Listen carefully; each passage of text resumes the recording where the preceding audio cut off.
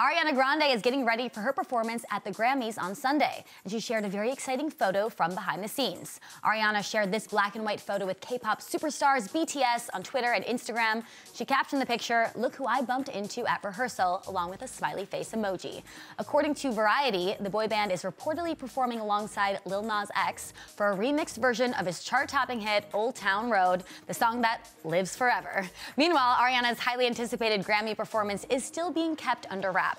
Ariana is not only performing, she's up for five awards, including Album of the Year for her breakup LP Thank You Next and Record of the Year for Seven Rings. Ariana was famously absent from last year's ceremony after a reported disagreement with producers left her feeling, quote, stifled. Now, this makes us even more excited for the music industry's biggest night. People and Entertainment Weekly will be live streaming the red carpet. Make sure you tune in for that. And make sure to watch our fashion wrap up the following day. We break down the biggest moments and boldest looks from the carpet.